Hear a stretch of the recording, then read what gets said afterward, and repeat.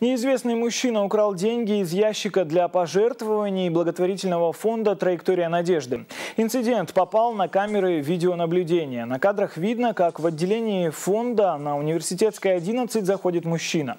Он попытался вскрыть ящик, однако с первого раза у него ничего не вышло. Услышав, что в холл входят сотрудники фонда, он покинул помещение. Однако на этом не успокоился и чуть позже снова вернулся. Спустя какое-то время мужчине все же удалось осуществить задуманное. Сумма украденных денег неизвестна. На место оперативно прибыли сотрудники полиции. Как рассказал Сургут-24 юрист благотворительного фонда «Траектория надежды» Михаил Зимин, предварительно личность подозреваемого уже установлена. Он отметил, что правоохранительные органы сработали очень быстро.